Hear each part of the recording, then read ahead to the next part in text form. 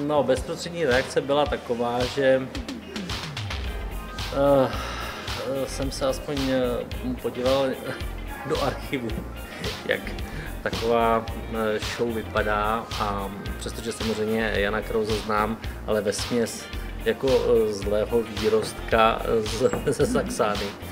Takže to byla moje první reakce ale řekl jsem si, že děláme něco zvláštního, o čem samozřejmě docela dobrý vědět a ne rozhodně k tomu našemu výzkumu jako popularita nebo respektive nějakým způsobem eh, prezentace v médiích eh, je velice užitečná. V současné době v médiích se hodně objevily, objevily články o tom, co děláme, to znamená o té léčbě cukrovky druhého typu, pomocí mini-invazního přístupu endoskopicky. Takže počítám, že eh, toto téma bude hlavní eh, téma dnešního večera.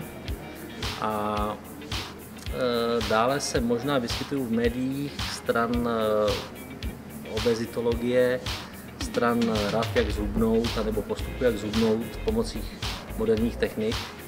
Takže tyto dvě témata, to znamená cukrovka druhého typu a obezita, nejspíš tady budou ty témata dnešního večera.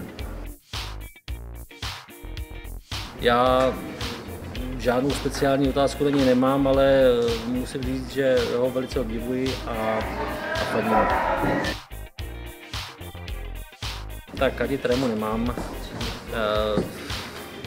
Přece jenom už jsem projel eh, určitý kus světa stran eh, kongresů a prezentací a přednášek, kde eh, například před pár lety ve Spojených státech jsem měl přednášku před dvěma tisíci lidí, doktorů, specialistů v angličtině, tak to byla taková trošku zodpovědnost, maličko reprezentace naší republiky, reprezentace našeho ústavu, tak jsem byl takový maličko uh, nervóznější, ale myslím si, že až tak úplně nervózní nejsem.